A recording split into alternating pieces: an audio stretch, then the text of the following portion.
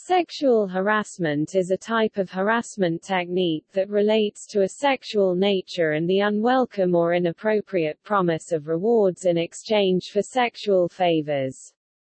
Sexual harassment includes a range of actions from mild transgressions to sexual abuse or assault. Harassment can occur in many different social settings such as the workplace, the home, school, churches, etc. Harassers or victims may be of any gender. In most modern legal contexts, sexual harassment is illegal.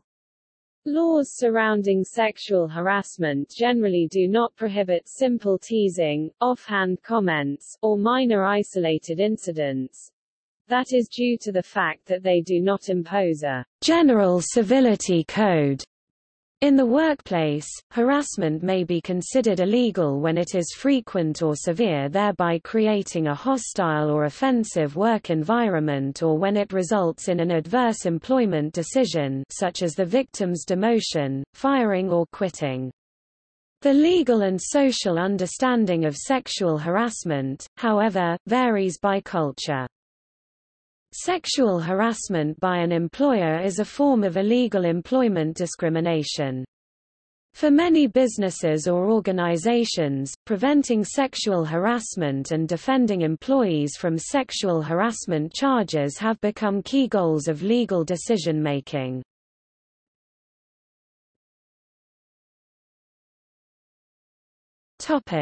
Etymology and history The modern legal understanding of sexual harassment was first developed in the 1970s, although related concepts have existed in many cultures.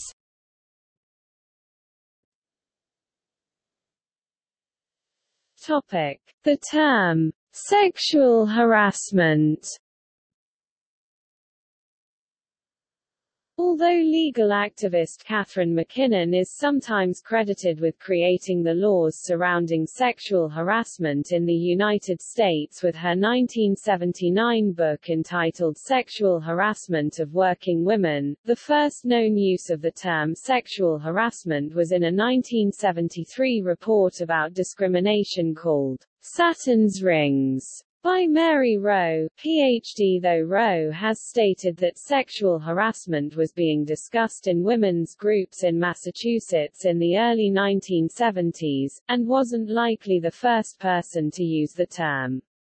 At the time, Rowe was the Chancellor for Women and Work at the Massachusetts Institute of Technology, MIT. Due to her efforts at MIT, the university was one of the first large organizations in the U.S. to develop specific policies and procedures aimed at stopping sexual harassment.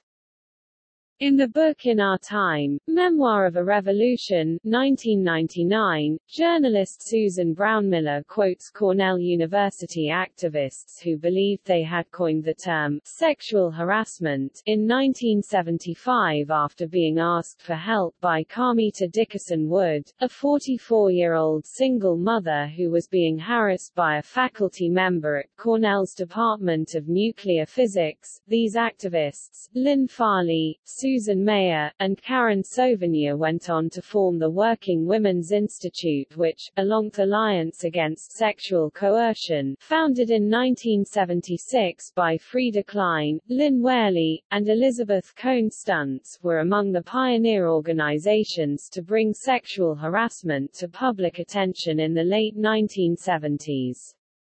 One of the first legal formulations of the concept of sexual harassment is consistent with sex discrimination and therefore prohibited behavior under Title VII of the Civil Rights Act of 1964 appeared in the 1979 seminal book by Catharine MacKinnon entitled, Sexual Harassment of Working Women.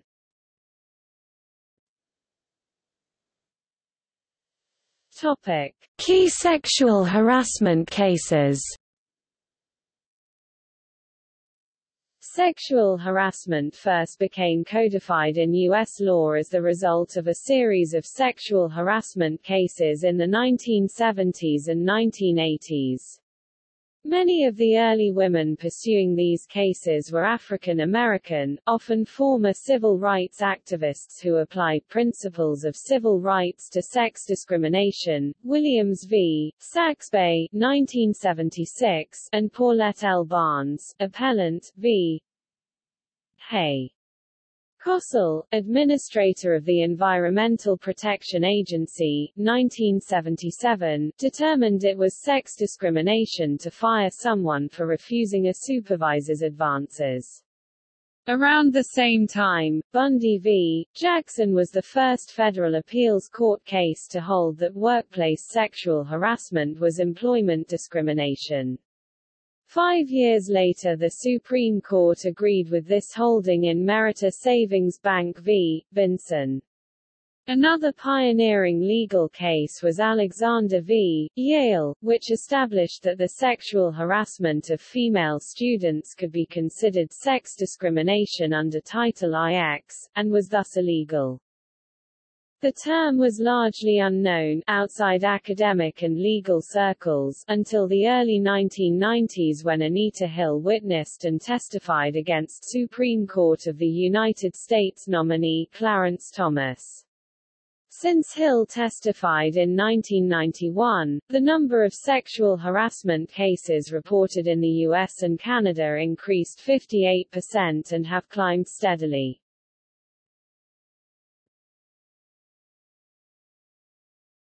Topic: Situations.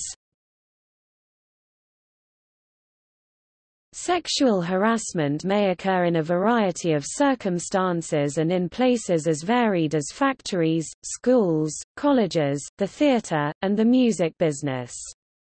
Often, the perpetrator has or is about to have power or authority over the victim owing to differences in social, political, educational or employment relationships as well as in age. Harassment relationships are specified in many ways, the perpetrator can be anyone, such as a client, a coworker, a parent or legal guardian, relative, a teacher or professor, a student, a friend, or a stranger. Harassment can occur in varying locations, in schools, colleges, workplaces, in public, and in other places.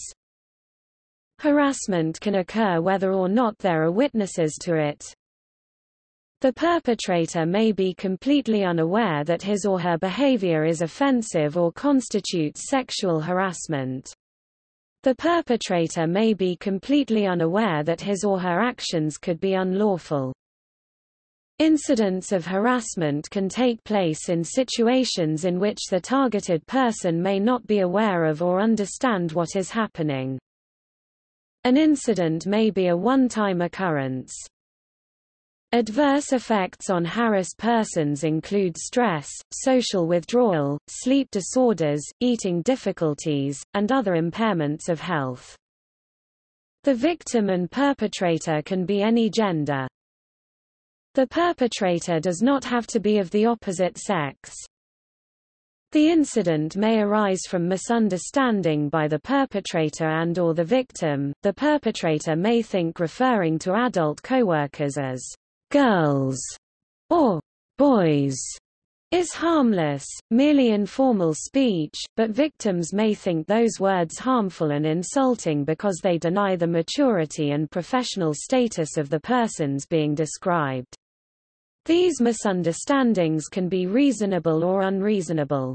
When a manager speaks of a stock boy because that term is commonly used to describe the young or inexperienced workers who are usually tasked with stocking shelves and unloading deliveries, and a worker feels diminished or insulted by that term, the manager's misunderstanding of the negative interpretation of the word is reasonable and the worker's misunderstanding of the descriptive aspect of the word is unreasonable. When a faculty member asks students how they like having a girl professor. It is unreasonable to assume that girl is a non-judgmental description and reasonable to conclude that the woman professor's experience and maturity are being questioned. With the advent of the Internet, social interactions, including sexual harassment, increasingly occur online, for example in video games or in chat rooms. According to the 2014 Pew Research statistics on online harassment, 25% of women and 13% of men between the ages of 18 and 24 have experienced sexual harassment while online.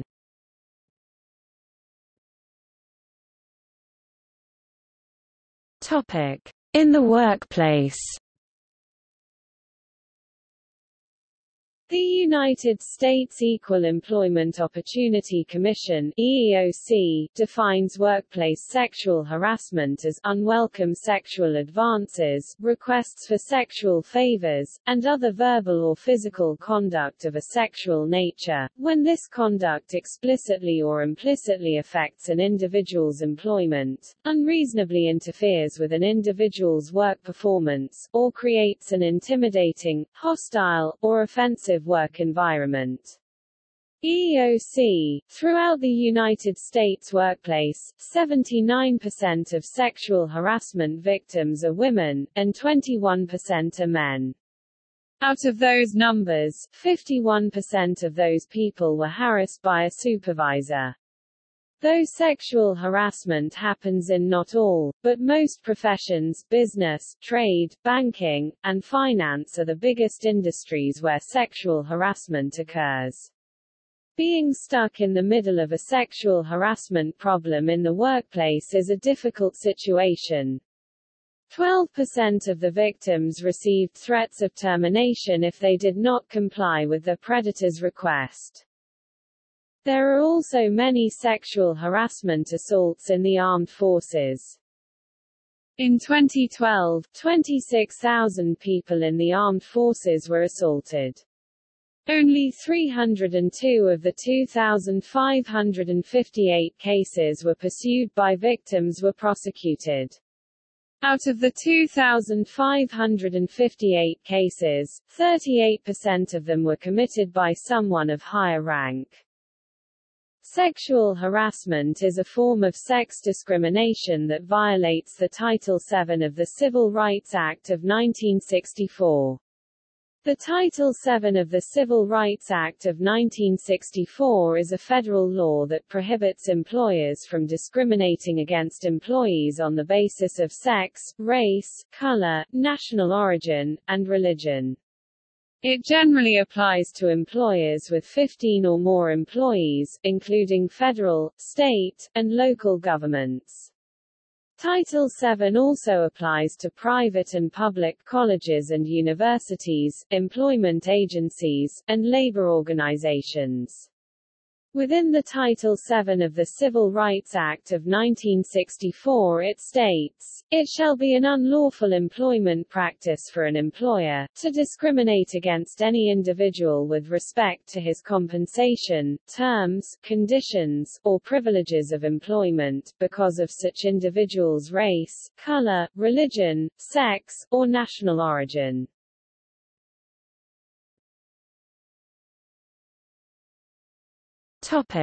In the military Studies of sexual harassment have found that it is markedly more common in the military than in civilian settings. A Canadian study found that key risk factors associated with military settings are the typically young age of personnel, the isolated and integrated nature of accommodation, the minority status of women, and the disproportionate number of men in senior positions.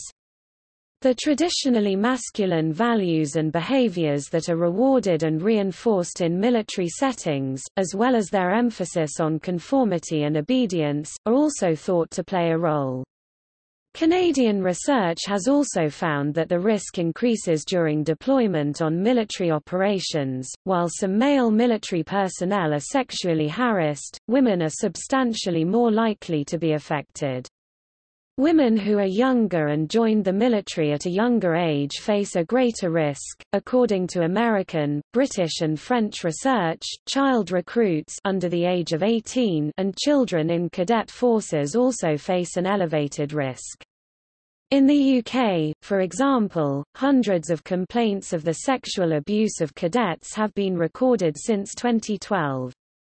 In Canada, one in ten complaints of sexual assault in military settings are from child cadets or their parents. Individuals detained by the military are also vulnerable to sexual harassment. During the Iraq War, for example, personnel of the U.S. Army and U.S. Central Intelligence Agency committed a number of human rights violations against detainees in the Abu Ghraib prison, including rape, sodomy, and other forms of sexual abuse. Although the risk of sexual misconduct in the armed forces is widely acknowledged, personnel are frequently reluctant to report incidents, typically out of fear of reprisals, according to research in Australia, Canada, France, the UK, and the US, women affected by sexual harassment are more likely than other women to suffer stress-related mental illness afterwards. Research in the U.S. found that when sexual abuse of female military personnel is psychiatrically traumatic, the odds of suffering from post-traumatic stress disorder PTSD after deployment on operations increase by a factor of 9.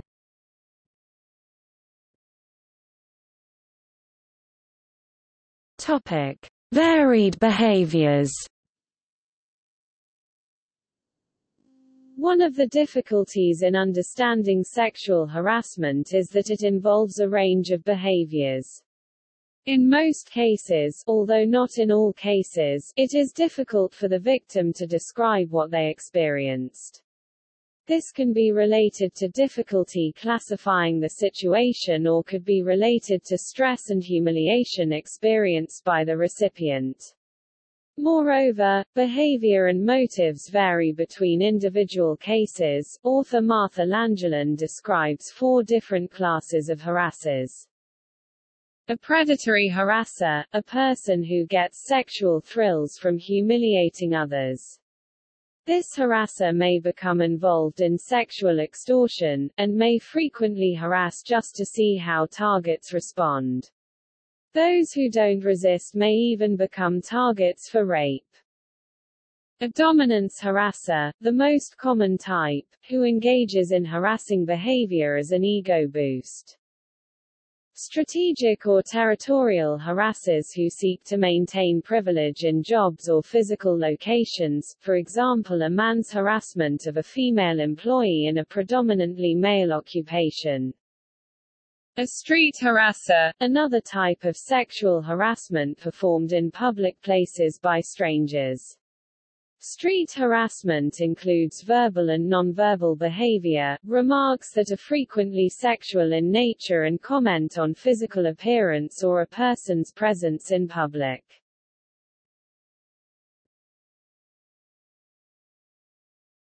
Topic: Prevention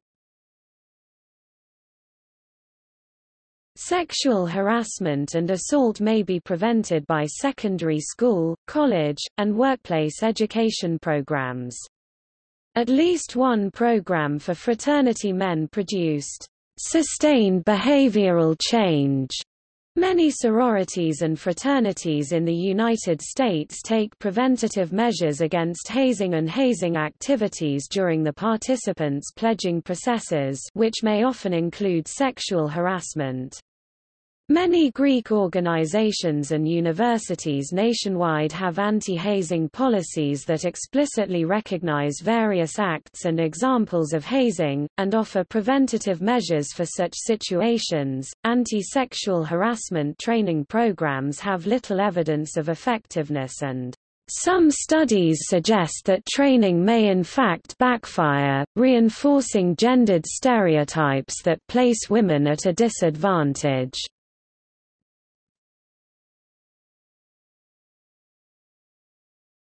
Topic: Impact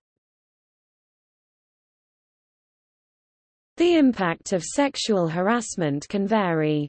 In research carried out by the EU Fundamental Rights Agency, 17,335 female victims of sexual assault were asked to name the feelings that resulted from the most serious incident of sexual assault that they had encountered since the age of 15.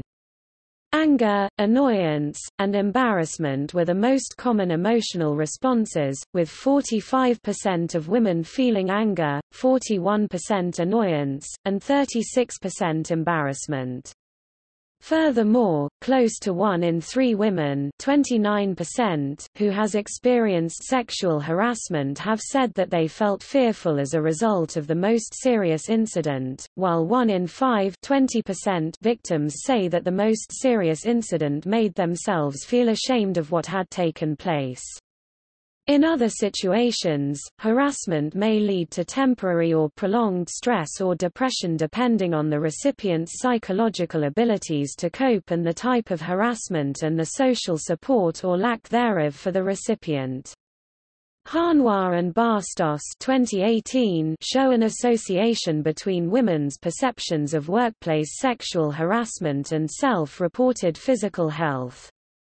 Psychologists and social workers report that severe or chronic sexual harassment can have the same psychological effects as rape or sexual assault.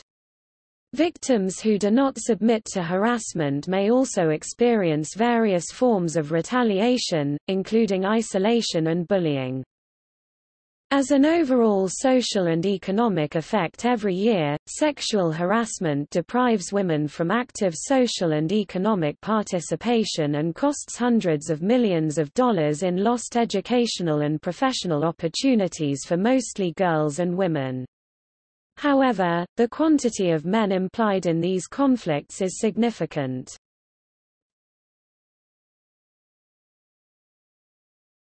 Topic: Coping Sexual harassment, by definition, is unwanted and not to be tolerated. There are ways, however, for offended and injured people to overcome the resultant psychological effects, remain in or return to society, regain healthy feelings within personal relationships when they were affected by the outside relationship trauma, regain social approval, and recover the ability to concentrate and be productive in educational and work environments. These include stress management and therapy, cognitive behavioral therapy, friends and family support, and advocacy. Immediate psychological and legal counseling are recommended since self-treatment may not release stress or remove trauma, and simply reporting to authorities may not have the desired effect, may be ignored, or may further injure the victim at its response. A 1991 study done by K. R. Yount found three dominant strategies developed by a sample of women coal miners to manage sexual harassment on the job, the lady, the flirt, and the tomboy. The ladies were typically the older women workers who tended to disengage from the men, kept their distance, avoided using profanity, avoided engaging in any behavior that might be interpreted as suggestive. They also tended to emphasize by their appearance and manners that they were ladies. The consequences for the ladies were that they were the targets of the least amount of come-ons, teasing and sexual harassment, but they also accepted the least prestigious and lowest paid jobs. The flirts were most often the younger single women. As a defense mechanism, they pretended to be flattered when they were the targets of sexual comments. Consequently, they became perceived as the embodiment of the female stereotype, as particularly lacking in potential and were given the fewest opportunities to develop job skills and to establish social and self-identities as minors.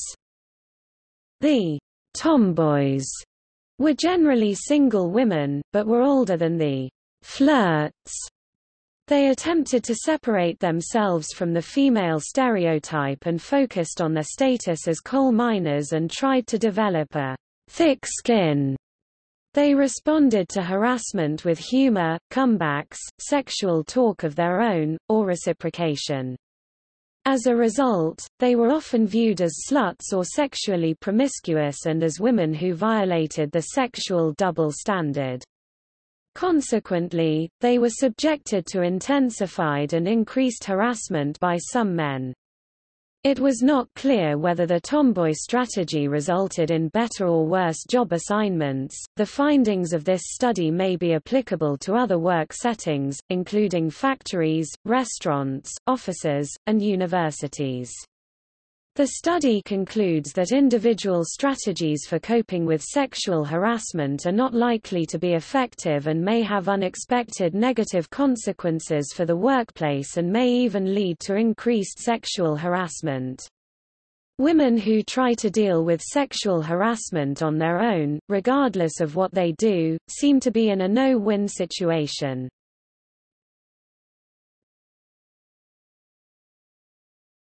Topic: Common effects on the victims.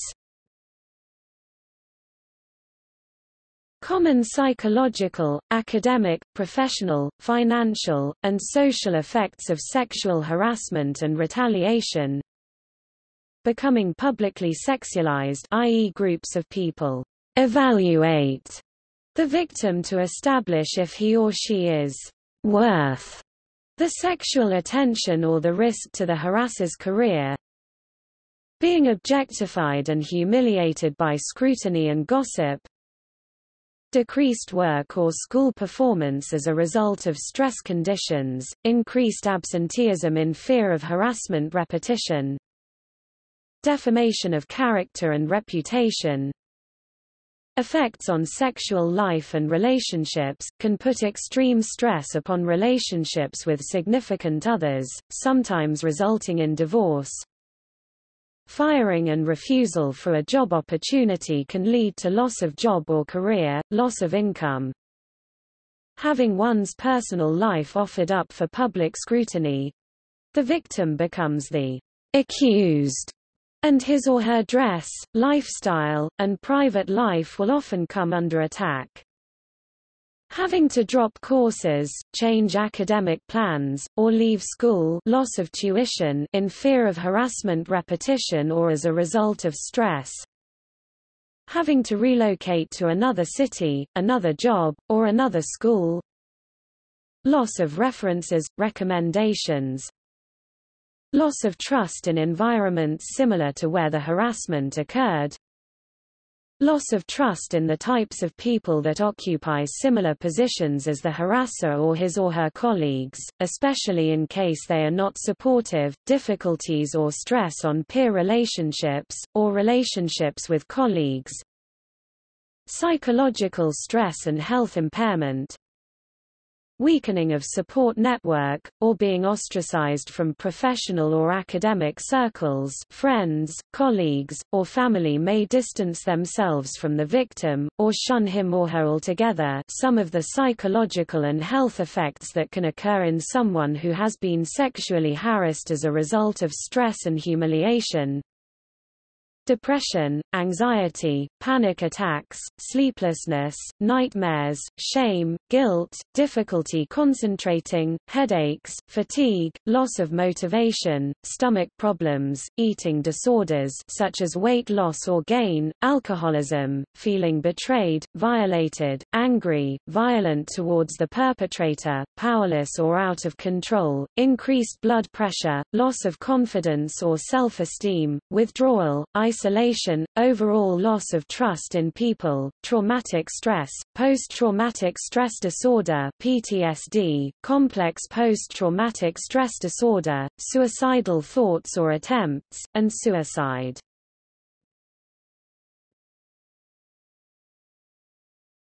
Topic: Post-complaint retaliation and backlash Retaliation and backlash against a victim are very common, particularly a complainant. Victims who speak out against sexual harassment are often labeled troublemakers who are on their own power trips, or who are looking for attention. Similar to cases of rape or sexual assault, the victim often becomes the accused, with their appearance, private life, and character likely to fall under intrusive scrutiny and attack. They risk hostility and isolation from colleagues, supervisors, teachers, fellow students, and even friends. They may become the targets of mobbing or relational aggression. Women are not necessarily sympathetic to female complainants who have been sexually harassed. If the harasser was male, internalized sexism or jealousy over the sexual attention towards the victim may encourage some women to react with as much hostility towards the complainant as some male colleagues. Fear of being targeted for harassment or retaliation themselves may also cause some women to respond with hostility. For example, when Lois Jensen filed her lawsuit against Eveleth Taconite Co., the women shunned her both at work and in the community. Many of these women later joined her suit. Women may even project hostility onto the victim in order to bond with their male co-workers and build trust. Retaliation has occurred when a sexual harassment victim suffers a negative action as a result of the harassment. For example, a complainant be given poor evaluations or low grades, have their projects sabotaged, be denied work or academic opportunities, have their work hours cut back, and other actions against them which undermine their productivity, or their ability to advance at work or school, being fired after reporting sexual harassment or leading to unemployment as they may be suspended, asked to resign, or be fired from their jobs altogether. Retaliation can even involve further sexual harassment, and also stalking and cyberstalking of the victim. Moreover, a school professor or employer accused of sexual harassment, or who is the colleague of a perpetrator, can use their power to see that a victim is never hired again blacklisting, or never accepted to another school. Of the women who have approached her to share their own experiences of being sexually harassed by their teachers, feminist and writer Naomi Wolf wrote in 2004, I am ashamed of what I tell them, that they should indeed worry about making an accusation because what they fear is likely to come true. Not one of the women I have heard from had an outcome that was not worse for her than silence. One, I recall, was drummed out of the school by peer pressure. Many faced bureaucratic stonewalling. Some women said they lost their academic status as Golden Girls overnight, grants dried up, letters of recommendation were no longer forthcoming. No one was met with a coherent process that was not weighted against them. Usually, the key decision makers in the college or university, especially if it was a private university, joined forces to, in effect, collude with the faculty member accused, to protect not him necessarily but the reputation of the university, and to keep information from surfacing in a way that could protect other women. The goal seemed to be not to provide a balanced forum, but damage control. Another woman who was interviewed by sociologist Helen Watson said, facing up to the crime and having to deal with it in public is probably worse than suffering in silence. I found it to be a lot worse than the harassment itself.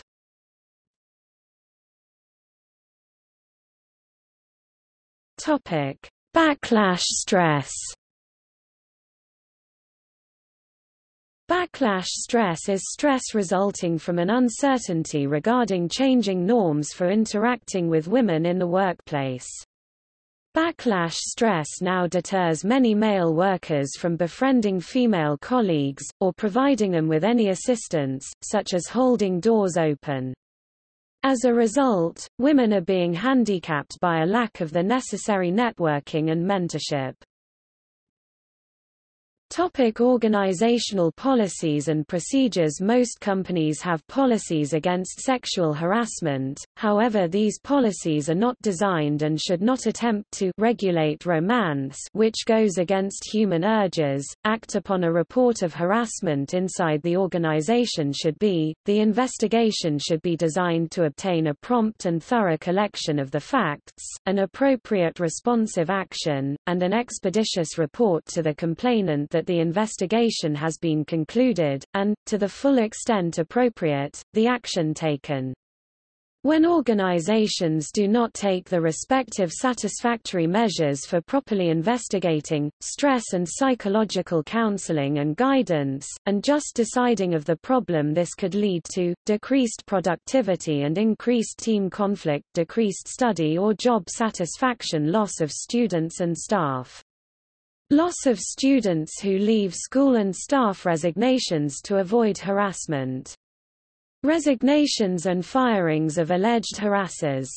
Decreased productivity and increased absenteeism by staff or students experiencing harassment decrease in success at meeting academic and financial goals increased health care and sick pay costs because of the health consequences of harassment or retaliation. The knowledge that harassment is permitted can undermine ethical standards and discipline in the organization in general, as staff or students lose respect for, and trust in, their seniors who indulge in, or turn a blind eye to, or treat improperly sexual harassment if the problem is ignored or not treated properly. A company's or school's image can suffer high jury awards for the employee, attorney fees and litigation costs if the problem is ignored or not treated properly in case of firing the victim when the complainants are advised to and take the issue to court. Studies show that organizational climate an organization's tolerance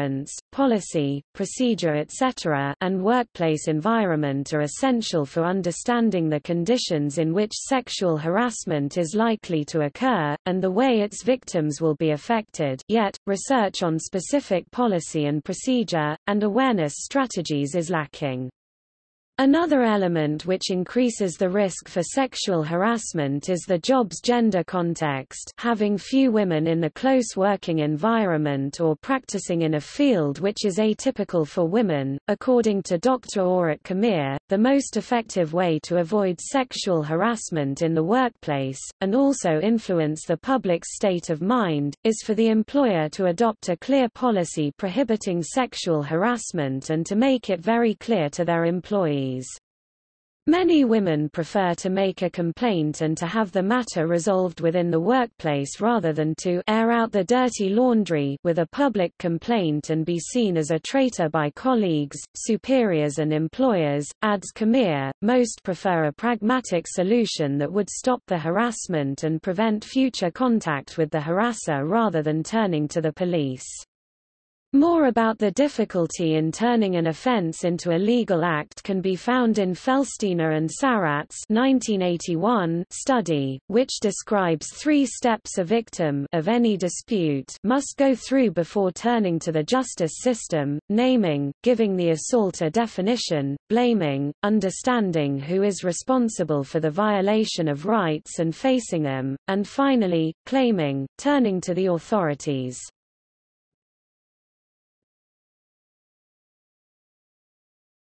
Topic: Evolution of law in different jurisdictions. It may include a range of actions from mild transgressions to sexual abuse or sexual assault. Sexual harassment is a form of illegal employment discrimination in many countries, and is a form of abuse sexual and psychological abuses and bullying.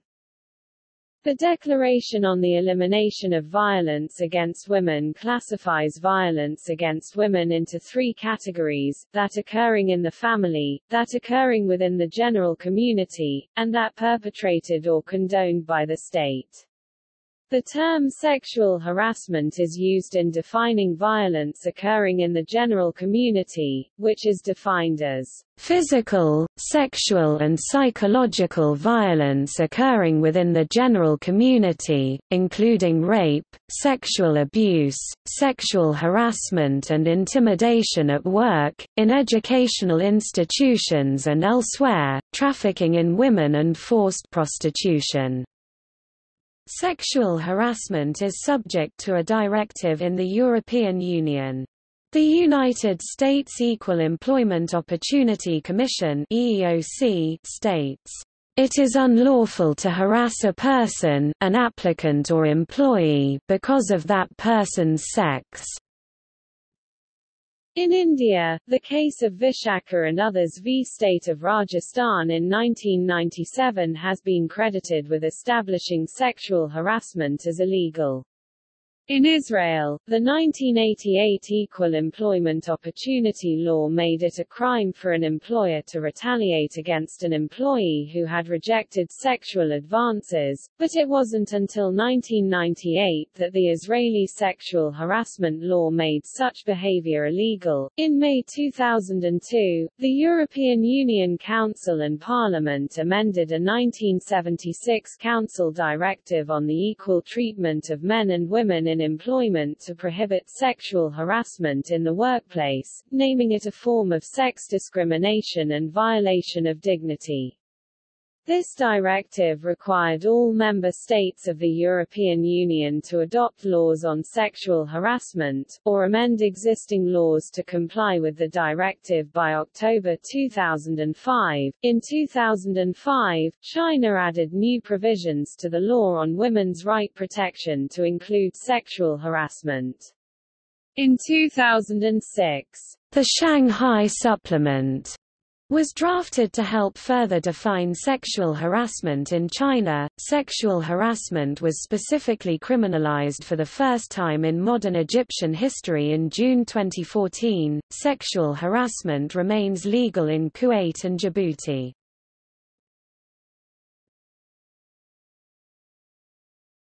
Topic: Varied legal guidelines and definitions.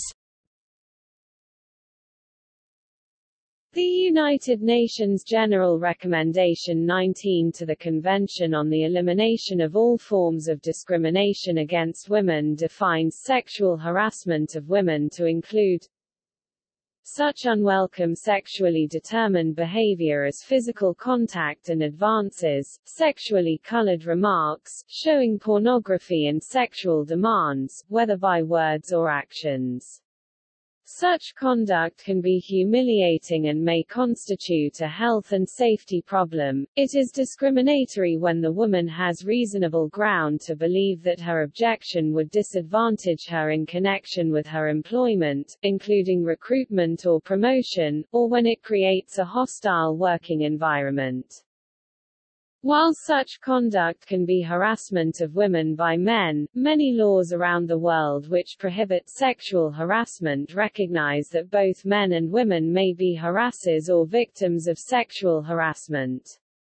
However, most claims of sexual harassment are made by women. There are many similarities, and also important differences in laws and definitions used around the world.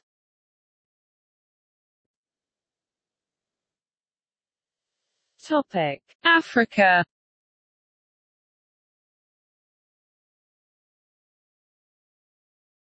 Topic: Morocco. In 2016 a stricter law prescribing sexual harassment was proposed in Morocco specifying fines and a possible jail sentence of up to six months. The existing law against harassment was reported to not be upheld, as harassment was not reported to police by victims and even when reported, was not investigated by police or prosecuted by the courts.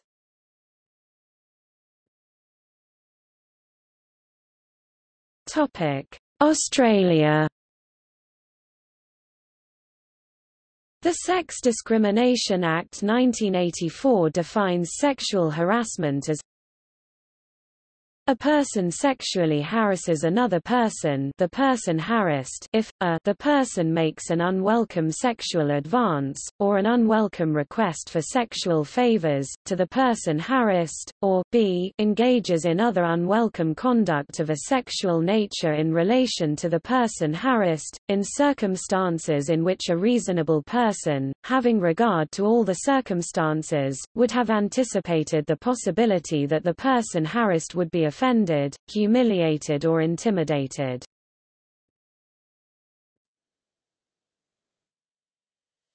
Topic: Europe In the European Union, there is a directive on sexual harassment. The Directive 2002/73 EC Equal Treatment of the 23rd of September 2002 amending Council Directive 76/207 EEC on the implementation of the principle of equal treatment for men and women as regards access to employment, vocational training and promotion, and working conditions states for the purposes of this directive, the following definitions shall apply.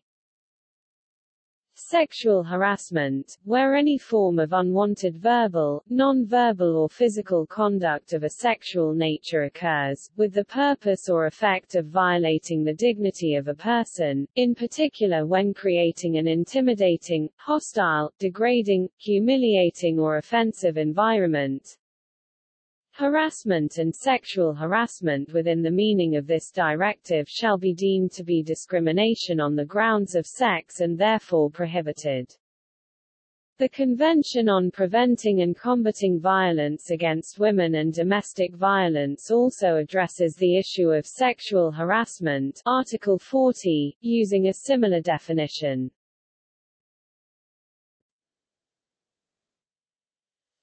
Topic: Denmark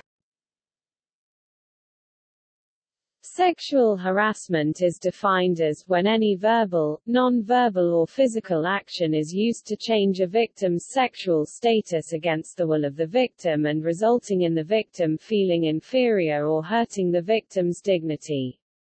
Man and woman are looked upon as equal, and any action trying to change the balance in status with the differences in sex as a tool, is also sexual harassment. In the workplace, jokes, remarks, etc., are only deemed discriminatory if the employer has stated so in their written policy. Law No. 1385 of December 21, 2005 regulates this area.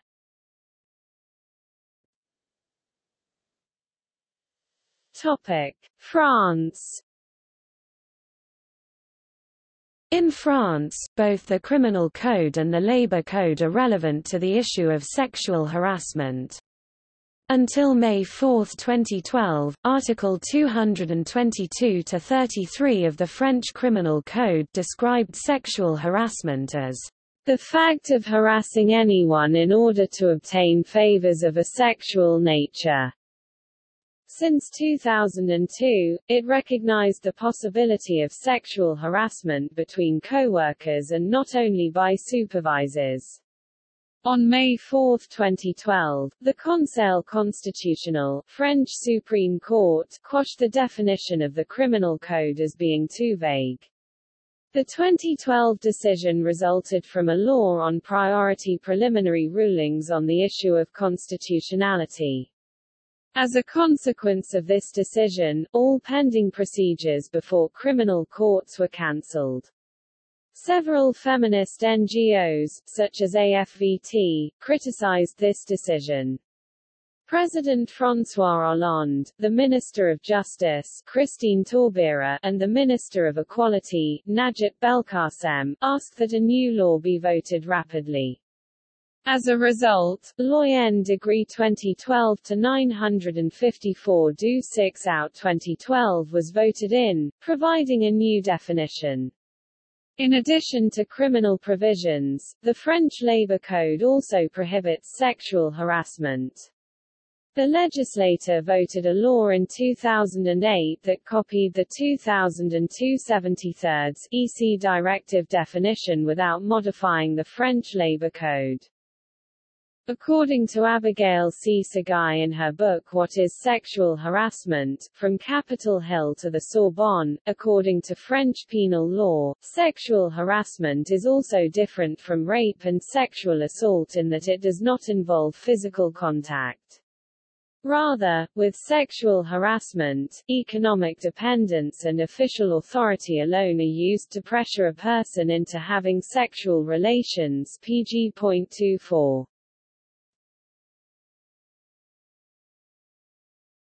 Topic: Germany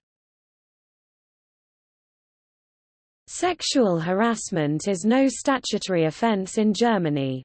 In special cases it might be chargeable as insult with sexual context, as per section 185 Strafgesetzbuch but only if special circumstances show an insulting nature.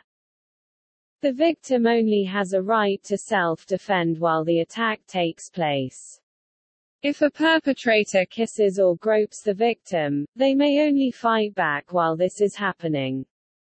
If the victim were to, for instance, slap back after the attacker already stopped, the victim might be chargeable for assault as per section 223 Strafgesetzbuch. In June 2016 the governing coalition decided about the key points of a tightening of the law governing sexual offences, Sexualstrafrecht, literally, law on the punishment of sexual delicts. At July 7, 2016 the Bundestag passed the resolution and by autumn 2016 the draft bill will be presented to the second chamber, the Bundesrat. By this change, sexual harassment shall become punishable under the Sexualstrafrecht.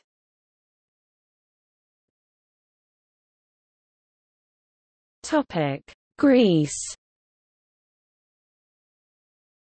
In response to the EU Directive 2002-73, EC, Greece enacted Law 3488-2006 OGA.191. The law specifies that sexual harassment is a form of gender-based discrimination in the workplace. Victims also have the right to compensation. Prior to this law, the policy on sexual harassment in Greece was very weak. Sexual harassment was not defined by any law, and victims could only use general laws, which were very poor in addressing the issue.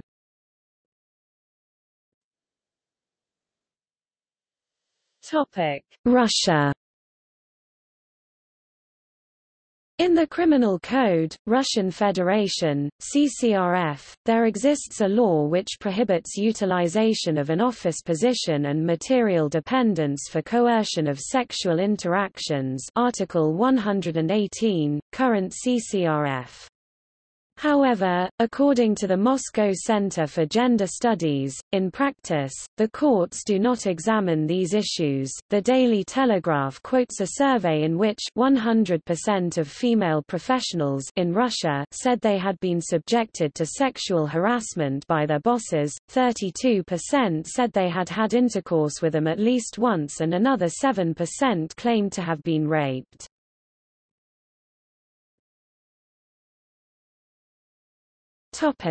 Switzerland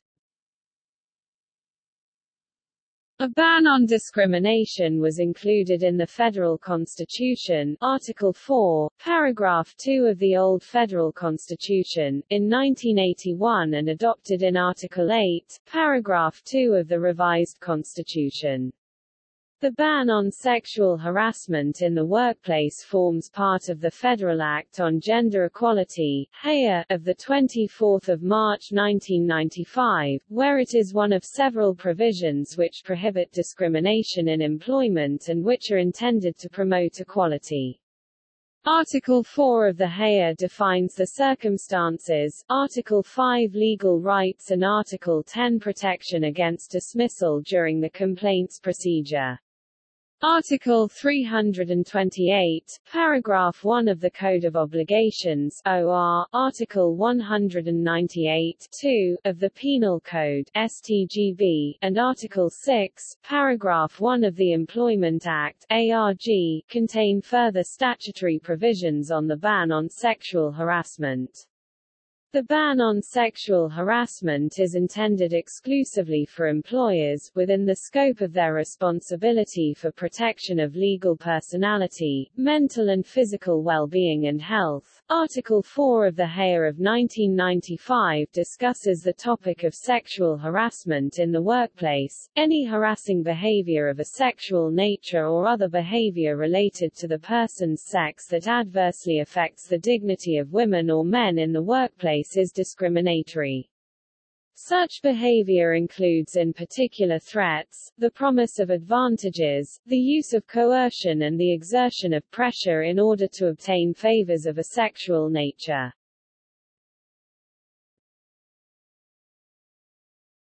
Topic: United Kingdom The Discrimination Act of 1975, was modified to establish sexual harassment as a form of discrimination in 1986. It states that harassment occurs where there is unwanted conduct on the ground of a person's sex or unwanted conduct of a sexual nature and that conduct has the purpose or effect of violating a person's dignity, or of creating an intimidating, hostile, degrading, humiliating or offensive environment for them. If an employer treats someone less favorably because they have rejected, or submitted to, either form of harassment described above, this is also harassment.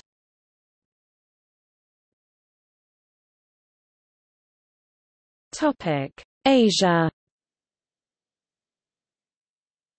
China in China, the 2005 Law for the Protection of Women's Rights and Interests of the People's Republic of China states, "...sexual harassment against women is prohibited." Although the law does not explicitly define what sexual harassment is. Sexual harassment is still pervasive within Chinese culture. A survey of female journalists revealed that 80% had experienced unwanted behavior, and an online survey of college students from all 34 provinces revealed that 75% of female students and 35% of male students had experienced sexual harassment.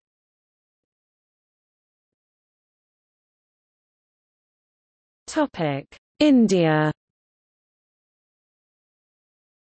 Sexual harassment in India is termed eve-teasing and is described as unwelcome sexual gesture or behavior whether directly or indirectly as sexually colored remarks, physical contact and advances, showing pornography, a demand or request for sexual favors, any other unwelcome physical, verbal or non-verbal conduct being sexual in nature or passing sexually offensive and unacceptable remarks. The critical factor is the unwelcomeness of the behavior, thereby making the impact of such actions on the recipient more relevant rather than intent of the perpetrator. According to the Indian constitution, sexual harassment infringes the fundamental right of a woman to gender equality under Article 14 and her right to life and live with dignity under Article 21. In 1997, the Supreme Court of India in a public interest litigation, defined sexual harassment at workplace, preventive measures and redress mechanism. The judgment is popularly known as Vishaka judgment. In April 2013, India enacted its own law on sexual harassment in the workplace, the Sexual Harassment of Women at Workplace Prevention, Prohibition and Redressal Act, 2013. Almost 16 years after the Supreme Court's landmark guidelines on prevention of sexual harassment in the workplace, known as the Vishaka Guidelines, the Act has endorsed many of the guidelines, and is a step towards codifying gender equality. The Act is intended to include all women employees in its ambit, including those employed in the unorganized sector, as well as domestic workers. The Act has identified sexual harassment as a violation of the fundamental rights of a woman to equality under Articles 14 and 15 of the Constitution of India and her right to life and to live with dignity under Article 21 of the Constitution, as well as the right to practice any profession or to carry on any occupation, trade or business which includes a right to a safe environment free from sexual harassment. The Act also states that the protection against sexual harassment and the right to work with dignity are universally recognized human rights by international conventions and instruments such as Convention on the Elimination of All Forms of Discrimination Against Women, which has been ratified on 25 June 1993 by the Government of India. The Criminal Law Amendment Act, 2013 introduced changes to the Indian Penal Code, making sexual harassment an expressed offence under Section 354A, which is punishable up to three years of imprisonment and or with fine. The amendment also introduced new sections making acts like disrobing a woman without consent, stalking and sexual acts by person in authority an offence.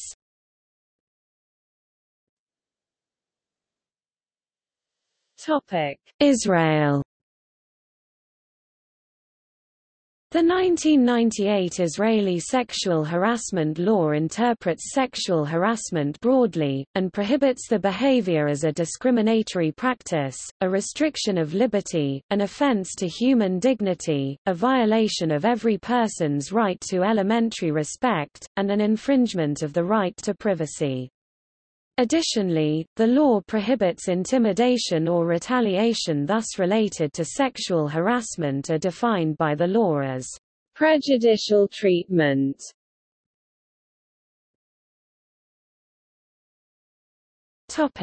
Japan Sexual harassment, or sekuhara in Japanese, appeared most dramatically in Japanese discourse in 1989, when a court case in Fukuoka ruled in favor of a woman who had been subjected to the spreading of sexual rumors by a coworker.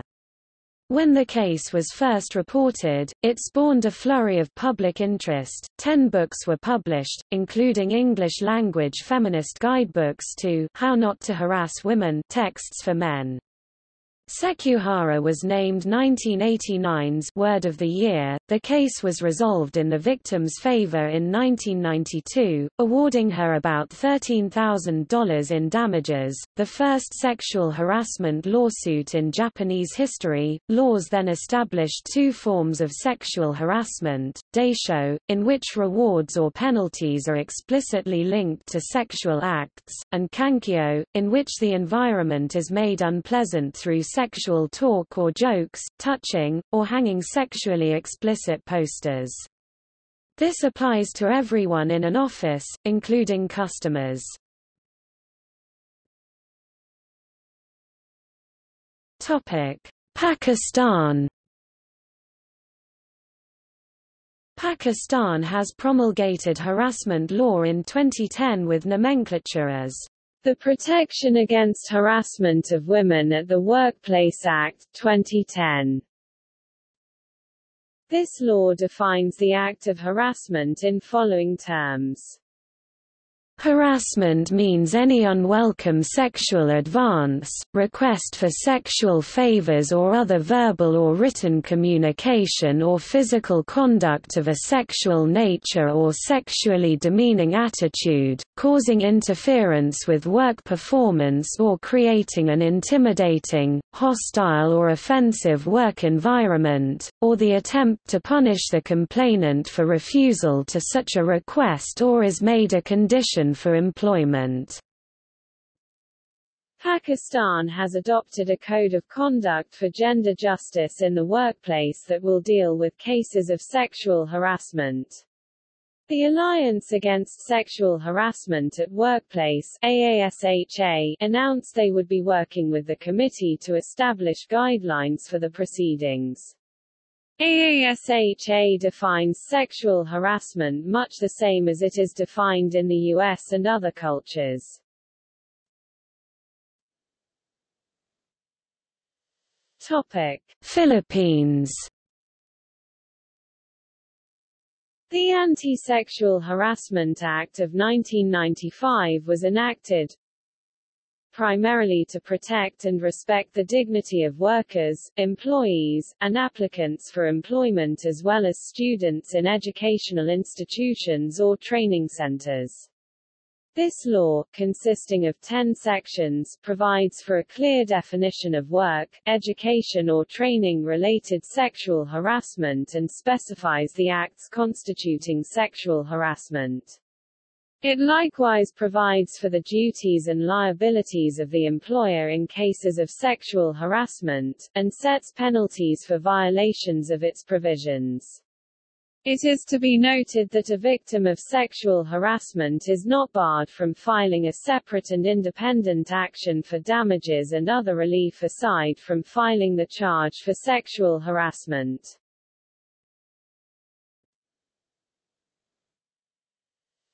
Topic: United States.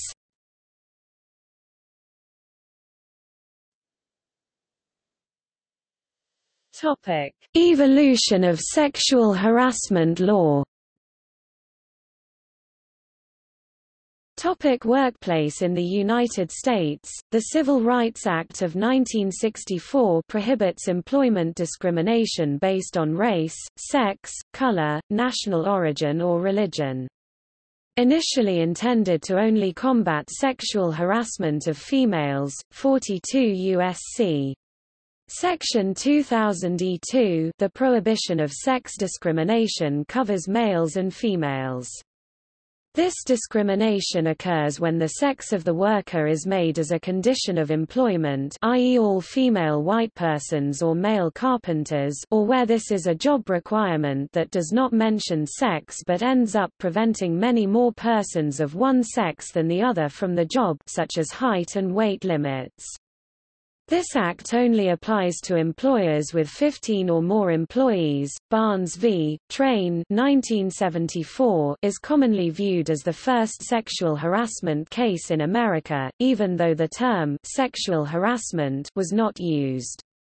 In 1976, Williams v. Saxbe established sexual harassment as a form of sex discrimination when sexual advances by a male supervisor towards a female employee, if proven, would be deemed an artificial barrier to employment placed before one gender and not another. In 1980 the Equal Employment Opportunity Commission EEOC issued regulations defining sexual harassment and stating it was a form of sex discrimination prohibited by the Civil Rights Act of 1964. In the 1986 case of Meritor Savings Bank v. Vinson, the Supreme Court first recognized sexual harassment as a violation of Title VII, established the standards for analyzing whether the conduct was welcome and levels of employer liability, and that speech or conduct in itself can create a hostile environment. This case filed by Michelle Vinson ruled that the sexual conduct between the subordinate and supervisor could not be deemed voluntary due to the hierarchical relationship between the two positions in the workplace.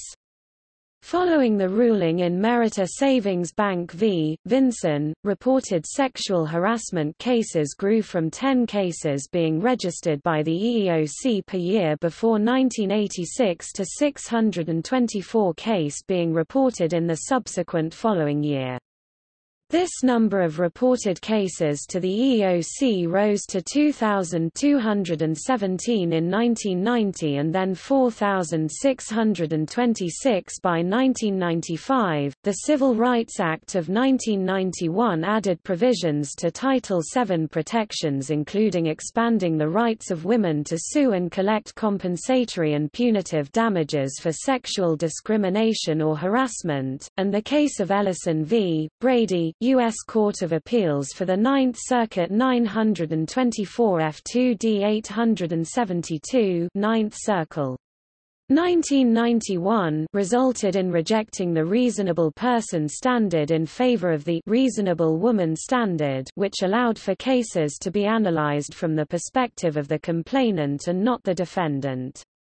Also in 1991, Jensen v. Eveleth Taconite Co. became the first sexual harassment case to be given class action status paving the way for others.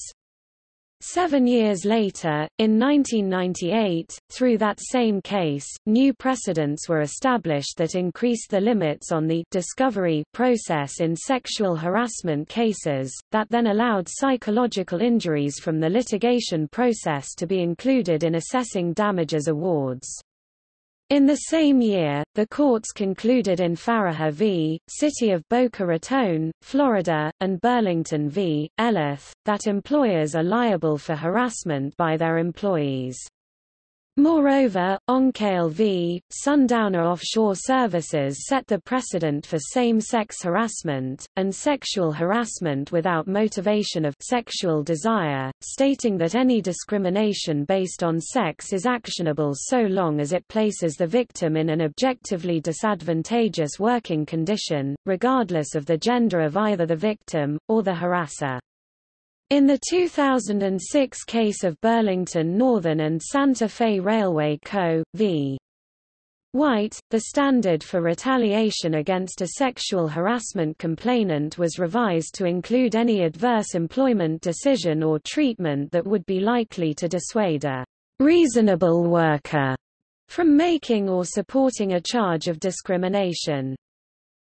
During 2007 alone, the U.S. Equal Employment Opportunity Commission and related state agencies received 12,510 new charges of sexual harassment on the job. The 2010 case, Reeves v. Ch. Robinson Worldwide, Inc. ruled that a hostile work environment can be created in a workplace where sexually explicit language and pornography are present. A hostile workplace may exist even if it is not targeted at any particular employee. From 2010 through 2016, approximately 17% of sexual harassment complaints filed with the EEOC were made by men. Topic: Education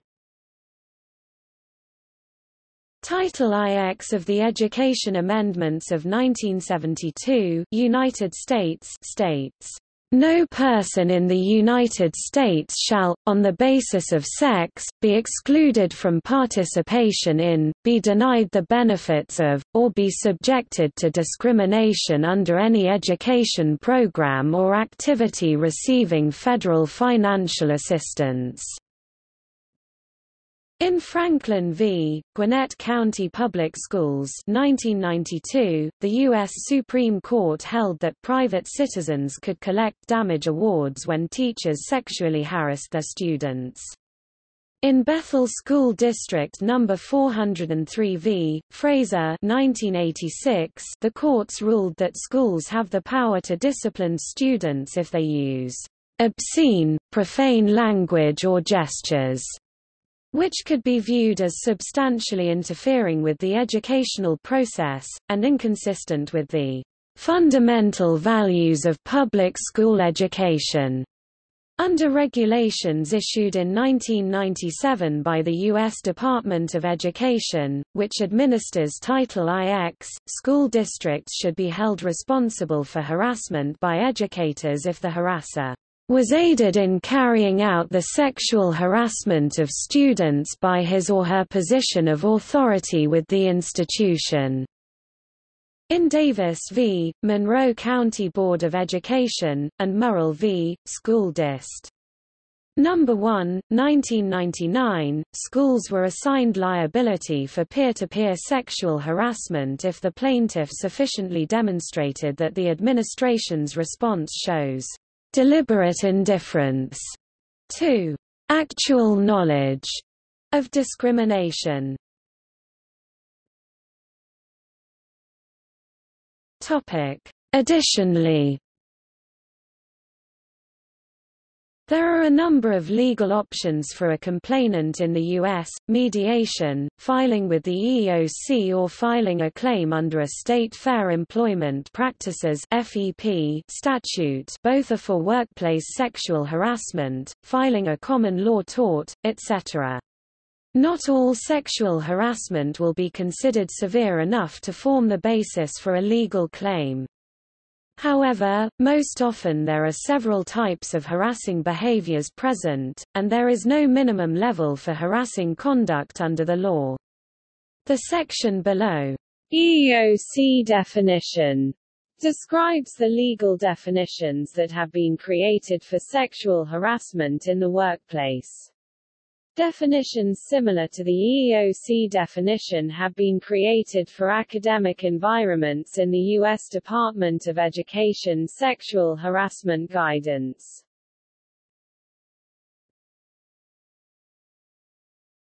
Topic: EEOC definition The Equal Employment Opportunity Commission claims that it is unlawful to harass an applicant or employee of any sex in the workplace. The harassment could include sexual harassment. The EEOC says that the victim and harasser could be any gender and that the other does not have to be of the opposite sex. The law does not ban offhand comments, simple teasing, or incidents that aren't very serious. If the harassment gets to the point where it creates a harsh work environment, it will be taken care of. In 1980, the Equal Employment Opportunity Commission produced a set of guidelines for defining and enforcing Title VII. In 1984 it was expanded to include educational institutions.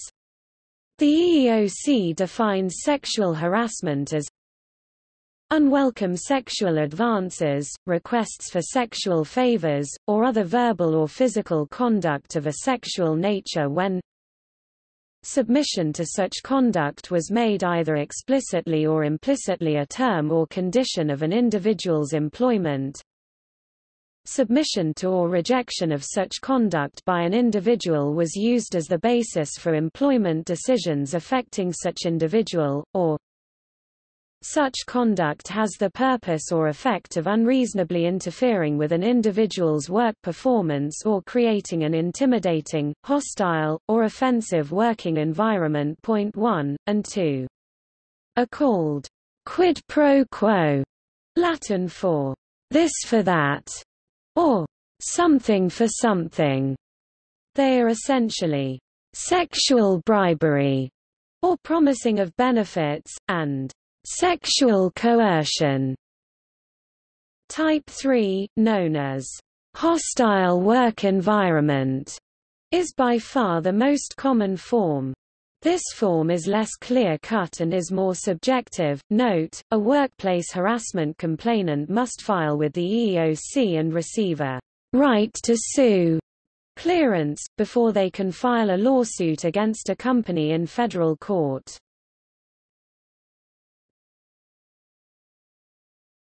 Topic: Quid pro quo sexual harassment. Quid pro quo means this for that.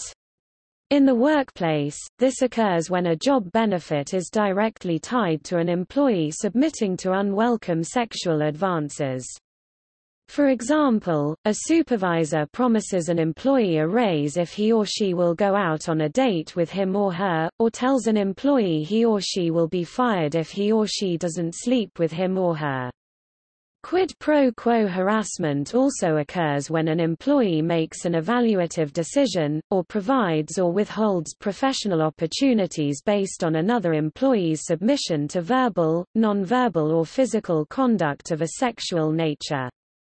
Quid pro quo harassment is equally unlawful whether the victim resists and suffers the threatened harm or submits and thus avoids the threatened harm.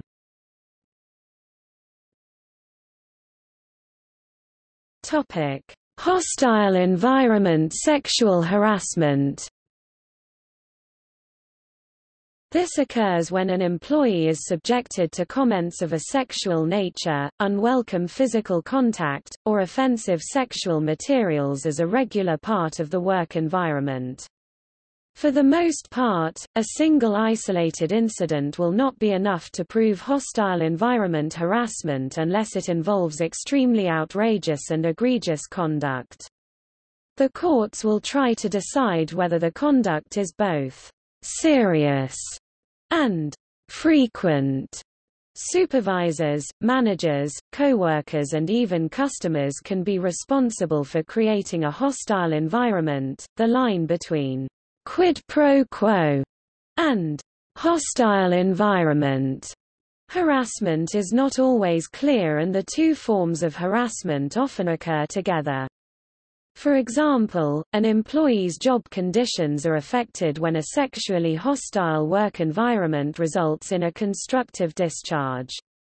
At the same time, a supervisor who makes sexual advances toward a subordinate employee may communicate an implicit threat to retaliate against her if she does not comply.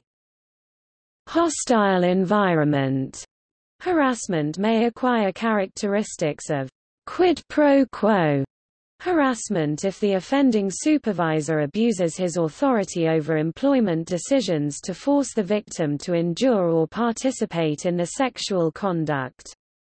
Sexual harassment may culminate in a retaliatory discharge if a victim tells the harasser or her employer she will no longer submit to the harassment, and is then fired in retaliation for this protest. Under these circumstances it would be appropriate to conclude that both harassment and retaliation in violation of Section 704 uh, of Title VII have occurred.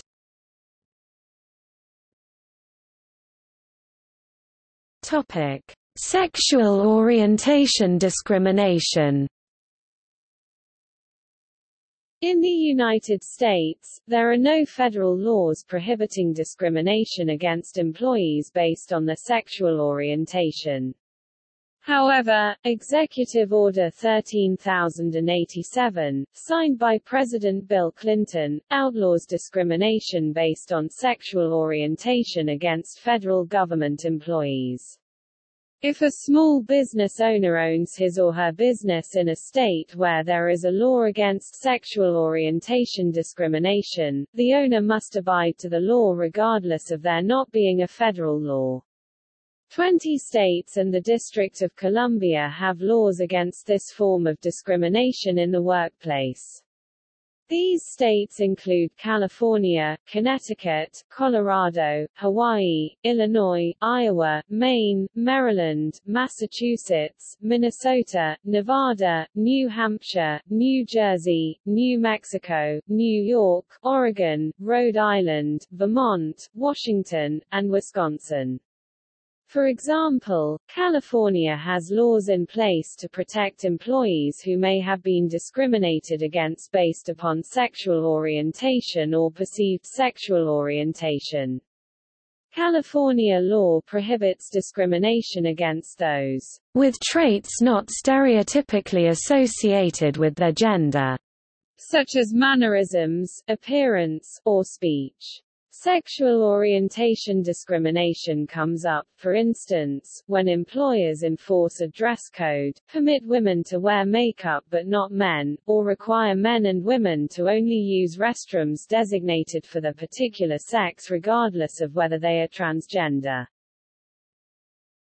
Topic retaliation Retaliation has occurred when an employee suffers a negative action after he or she has made a report of sexual harassment, file a grievance, assist someone else with a complaint, or participate in discrimination prevention activities. Negative actions can include being fired, demotion, suspension, denial of promotion, poor evaluation, unfavorable job reassignment, any adverse employment decision or treatment that would be likely to dissuade a reasonable worker from making or supporting a charge of discrimination. See Burlington Northern and Santa Fe Railway Co. v. White. Retaliation is as illegal as the sexual harassment itself, but also as difficult to prove. Also, retaliation is illegal even if the original charge of sexual harassment was not proven. Topic: New Jersey New Jersey was historically known to have one of the strongest anti-sexual harassment laws in the United States. The law against discrimination used to hold an employer liable if the sexual harassment was done by a member of upper-level management. In 2015, the New Jersey Supreme Court modified the precedents in the state of New Jersey and prevented the company from being liable if they had a well-published and enforced anti-harassment policy. Accordingly, if a policy existed and was enforced, the victim or witness to the sexual harassment would need to complain about the conduct. The company would not be liable if they investigate the matter and take some remedial measures to make sure that the harassment stops. The company only becomes liable if the activity occurs again. See v. N.J.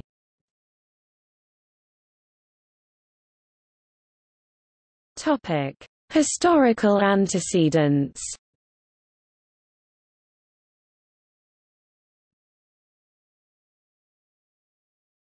Topic: Ancient Rome.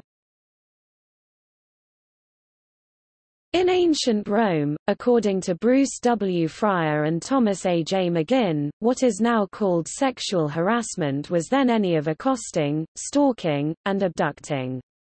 Accosting was harassment through attempted seduction, or assault ing another's chastity with smooth talk, contrary to good morals, which was more than the lesser offences of obscene speech, dirty jokes, and the like, foul language, and clamor, with the accosting of respectable young girls, who however were dressed in slaves' clothing being a lesser offense and the accosting of women dressed as prostitutes being an even lesser offense. Stalking was silently, persistently pursuing, if it was contrary to good morals, because a pursuer's ceaseless presence virtually ensures appreciable disrepute. Abducting an attendant, who was someone who follows someone else as a companion and could be a slave, was successfully forcing or persuading the attendant to leave the side of the intended target. But abducting while the woman has not been wearing respectable clothing was a lesser offense.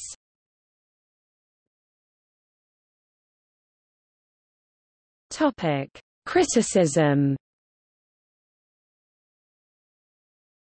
Though the phrase sexual harassment is generally acknowledged to include clearly damaging and morally deplorable behavior, its boundaries can be broad and controversial. Accordingly, misunderstandings can occur. In the U.S., sexual harassment law has been criticized by persons such as the criminal defense lawyer Alan Dershowitz and the legal writer and libertarian Eugene Volokh, for imposing limits on the right to free speech. Jana Raver, professor in organizational studies at the Queen's School of Business, criticized sexual harassment policy in the Ottawa Business Journal as helping maintain archaic stereotypes of women as delicate, asexual creatures who require special protection when at the same time complaints are lowering company profits. Camille Paglia says that young girls can end up acting in such ways as to make sexual harassment easier, such that for example, by acting nice, they can become a target. Paglia commented in an interview with Playboy, Realize the degree to which your niceness may invoke people to say lewd and pornographic things to you sometimes to violate your niceness. The more you blush, the more people want to do it. Other critics assert that sexual harassment is a very serious problem, but current views focus too heavily on sexuality rather than on the type of conduct that undermines the ability of women or men to work together effectively. Vicki Schultz, a law professor at Yale University comments, Many of the most prevalent forms of harassment are designed to maintain work, particularly the more highly rewarded lines of work, as bastions of male competence and authority. Feminist Jane Gallop sees this evolution of the definition of sexual harassment as coming from a split between what she calls power feminists, who are pro-sex like herself, and what she calls victim feminists, who are not. She argues that the split has helped lead to a perversion of the definition of sexual harassment, which used to be about sexism but has come to be about anything that's sexual. There is also concern over abuses of sexual harassment policy by individuals as well as by employers and administrators using false or frivolous accusations as a way of expelling employees they want to eliminate for other reasons. These employees often have virtually no recourse thanks to the at-will law in most U.S. states. O'Donohue and Bowers outlined 14 possible pathways to false allegations of sexual harassment. Lying, borderline personality disorder, histrionic personality disorder, psychosis, gender prejudice, substance abuse, dementia, false memories, false interpretations, biased interviews, sociopathy, personality disorders not otherwise specified. There is also discussion of whether some recent trends towards more revealing clothing and permissive habits have created a more sexualized general environment, in which some forms of communication are unfairly labeled harassment, but are simply a reaction to greater sexualization in everyday environments. There are many debates about how organizations should deal with sexual harassment. Some observers feel strongly that organizations should be held to a zero-tolerance standard of must report, must investigate, must punish. Others write that those who feel harassed should in most circumstances have a choice of options.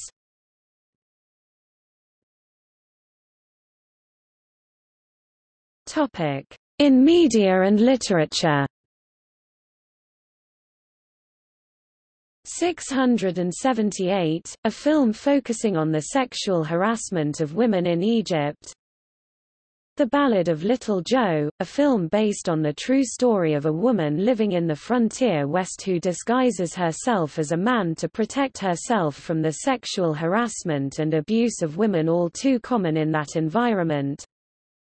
Disclosure, a film starring Michael Douglas and Demi Moore in which a man is sexually harassed by his female superior, who tries to use the situation to destroy his career by claiming that he was the sexual harasser. Disgrace, a novel about a South African literature professor whose career is ruined after he has an affair with a student. Hostile Advances, The Kerry Ellison Story, television movie about Ellison v. Brady, the case that set the reasonable woman precedent in sexual harassment law. In the Company of Men, a film about two male co-workers who, angry at women, plot to seduce and maliciously toy with the emotions of a deaf subordinate who works at the same company, Les Miserables, a musical based on the novel by Victor Hugo. The character Fantine is fired from her job after refusing to have sex with her supervisor. The Magdalene Sisters, a film based on the true stories of young women imprisoned for bringing shame upon their families by being raped, sexually abused, flirting, or simply being pretty, and subsequently subjected to sexual harassment and abuse by the nuns and priests in the Magdalen asylums in Ireland. 9 to 5, a comedy film starring Jane Fonda, Lily Tomlin, and Dolly Parton, about three women who are subjected to constant bullying and sexual harassment by their boss, North Country, a 2005 film depicting a fictionalized account of Jensen v. Eveleth Taconite Co., the first sexual harassment class action lawsuit in the U.S.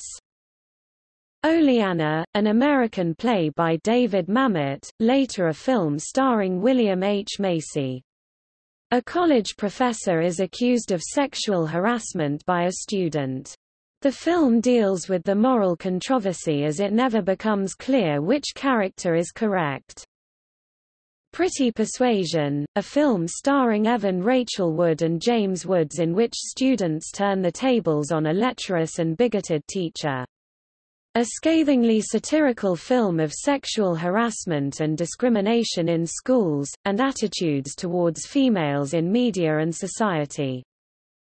War Zone, a documentary about street harassment. Sexual Harassment Panda, an episode of South Park that parodies sexual harassment in schools and the lawsuits which result from lawyers and children using the vague definition of sexual harassment in order to win their lawsuits. Sexual harassment in the workplace an instrumental minor key blues song by Frank Zappa, from the album Guitar. Hunter's Moon, a novel by Karen Robards, deals with a female's experience of sexual harassment in the workplace. In the pilot episode of the U.S. comedy series Ally McBeal, Ally leaves her job at her first firm because of unwanted attention and groping from a male coworker. The 1961 musical How to Succeed in Business Without Really Trying deals with themes of both consensual office romance and unwelcome sexual harassment. One man is fired for making a pass at the wrong woman, and another man is warned via a song called A Secretary is Not a Toy. The Fox television musical drama show Glee deals with issues around sexual harassment in the episodes, The Power of Madonna Never Been Kissed and The First Time.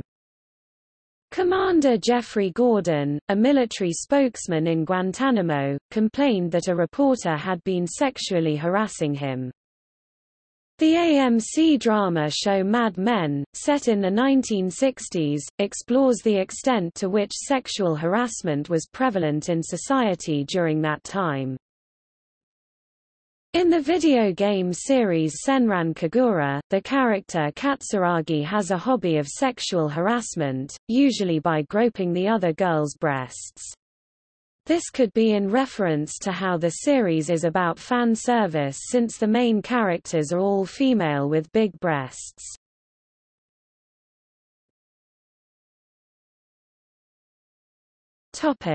See also equals equals notes